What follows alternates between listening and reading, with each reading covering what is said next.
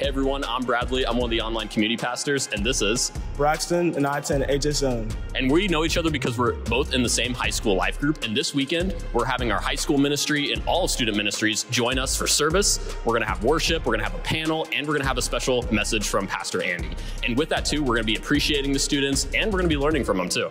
Church Together weekend is happening at all campuses. Hope to see you there. Matter of fact, if I make the shot, you got to come.